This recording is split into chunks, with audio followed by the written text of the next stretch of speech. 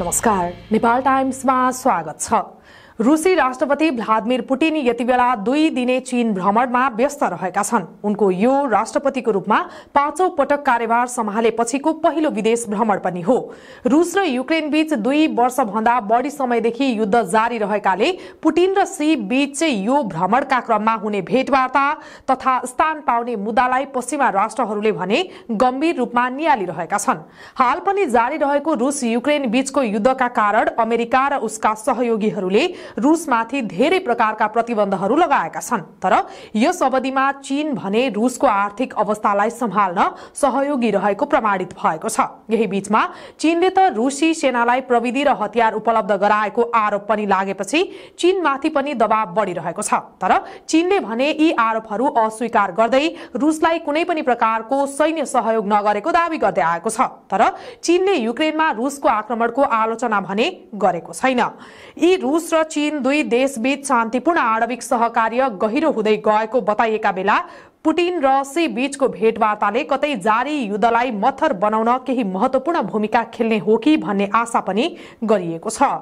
रुस र युक्रेन बीच दुई वर्षभन्दा बढी समयदेखि युद्ध चलिरहेका बेला रुसी राष्ट्रपति भ्लादिमिर पुटिन राष्ट्रपतिको रूपमा पाँचौं पटक कार्यभार सम्हालेपछि पहिलो विदेश भ्रमणका रूपमा दुई दिने भ्रमणका लागि चीन पुगेका छन्। रुस र चीन बीच कूटनीतिक सम्बन्ध स्थापित भएको पचहत्तरौं वार्षिकोत्सव पारेर दुई नेता बीच भेट भएको हो।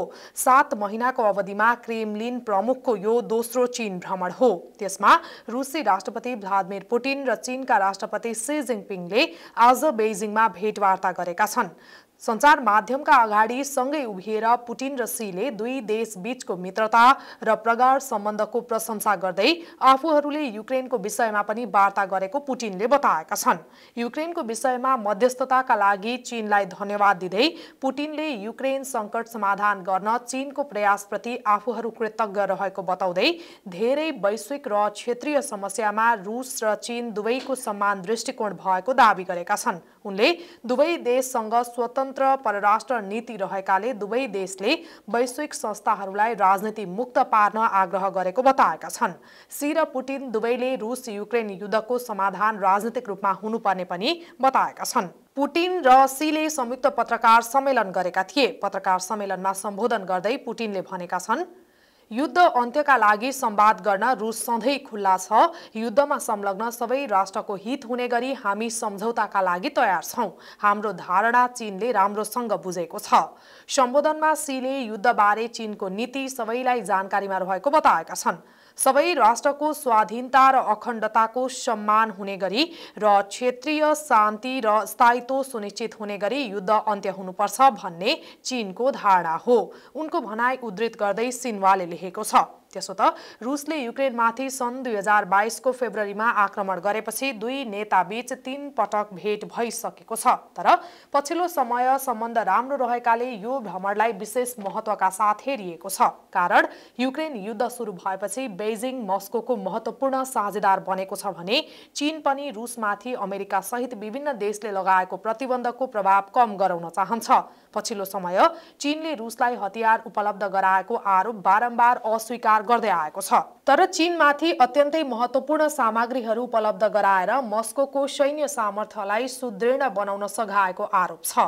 पश्चिमा देशहरूले रुसमाथि प्रतिबन्ध लगाएपछि चीन अहिले रुसका निम्ति कार लत्ता कपडा र कच्चा पदार्थ पठाउने मुख्य निर्यातकर्ता बनेको छ। यस्तै चीनले सार्वजनिक गरेको आधिकारिक तथ्याङ्कका अनुसार सन् दुई हजार एक्काइस यता यी दुई देश बीचको व्यापार चौसठी प्रतिशतले बढेर दुई खर्ब चालिस अर्ब डलरको उच्च बिन्दुमा पुगेको छ। उक्त आँकडाका अनुसार रुसले चीनबाट एक सय एघार अर्ब डलरको आयात गरेको थियो भने चीनलाई एक सय उनातिस अर्ब डलर जतिको निर्यात गरेको थियो। सन् दुई हजार बाइसमा छ अर्ब डलर बराबरको चिनिया कार र त्यसका पाठ पूर्जा रुसतर्फ निर्यात भएकोमा सन् दुई हजार तेइसमा बढेर तेइस अर्ब डलर पुगेको छ। चीनले स्वदेशमा विद्युतीय सवारी साधनलाई प्रोत्साहन दिएको भए पनि रुसमा पेट्रोलबाट चल्ने गाडी निर्यात गर्छ जसलाई रुस चीनसँग बढी आश्रित रहेको भन्दै जानकारहरूले असन्तुलित सम्बन्ध मान्ने गर्दछन्। सन् दुई हजार तेइससम्मको स्थिति हेर्दा चीन रुसको मूल व्यापारिक साझेदार बनेको छ तर अर्कातर्फ चीनका लागि रुस छैठौँ ठूलो साझेदार हो। दुई दिने औपचारिक भ्रमणका लागि बेजिङ उत्रिनु अघि पुटिनले चिनिया सञ्चार माध्यमसँग कुराकानी गरेका थिए। सिन्हासँगको कुराकानीमा पुटिनले युक्रेनसँग संवादका लागि आफू तयार रहेको बताएको चिनिया समाचार संस्था ग्लोबल टाइम्सले जनाएको छ। युद्धमा संलग्न सबै राष्ट्रहरूको हित हुने गरी सहमतिका लागि रुस बाधक नरहेको पुटिनको भनाइ छ। हामी सहमतिको विपक्षमा छैनौँ तर युद्धमा संलग्न सबै राष्ट्रको दीर्घकालीन हित र सुरक्षालाई मध्यनजर गर्दै सहमति हुनुपर्छ भन्ने पक्षमा छौँ। संवादका लागि रुस तयार छ। पुटिनको भनाइलाई उद्धृत गर्दै ग्लोबल टाइम्सले लेखेको छ। त्यसो त यस भेटमा चीन र रुस दुई मुलुकबीच वृहत रणनीतिक साझेदारी सम्बन्धी सम्झौता हुन सक्ने अपेक्षा गरिएकोमा आजै पुटिनले महत्वपूर्ण अन्तर्राष्ट्रिय मुद्दामा रुस र चीनको एउटै अडान रहेको बताएका छन्। चीनको सरकारी समाचार एजेन्सीलाई दिएको अन्तर्वार्तामा पुटिनले यस्तो बताएका हुन्। पुटिन चीन भ्रमणमा रहेकै बेला चीनले फेरि ताइवानलाई घेरा हालेको छ। ताइवानले आफ्नो हवाई तथा जल क्षेत्रमा चीनले फेरि घेरा हालेको दावी गरेको छ। आज बिहान आफ्नो हवाई तथा जल क्षेत्र आसपास सत्ताइसवटा चिनिया विमान र सातवटा नौसेना जहाज देखिएको ताइवानी अधिकारीहरूले बताएका छन्। उता पुटिनको चीन भ्रमणको समयमा युक्रेनी राष्ट्रपति भोलोदिमिर जेलेन्स्कीले भने आफ्नो सबै विदेश यात्रा स्थगित गरेका छन्। जेलेन्स्कीको यस हप्ता पोर्चुगल र स्पेन भ्रमण गर्ने योजना थियो। तपाईँले भने रुसी राष्ट्रपति पुटिनको चीन भ्रमण र हुन सक्ने सम्झौता तथा चीनको ताइवान घेराउका बारेमा आफ्ना विचारहरू अवश्य व्यक्त गर्नुहोला।